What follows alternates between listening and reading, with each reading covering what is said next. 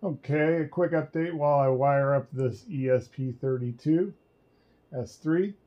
A lot of you have asked about OpenPrint 3D, and the response has actually been better than uh, I expected. Uh, it's clear the community wants real a real open standard for print material profiles. Uh, as such, um, I'm going to need a little help, but my mod content isn't slowing down. That's not the plan.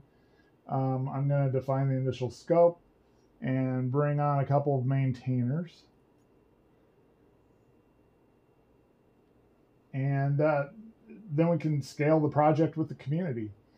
So if you want to follow along or contribute, the GitHub repo is live.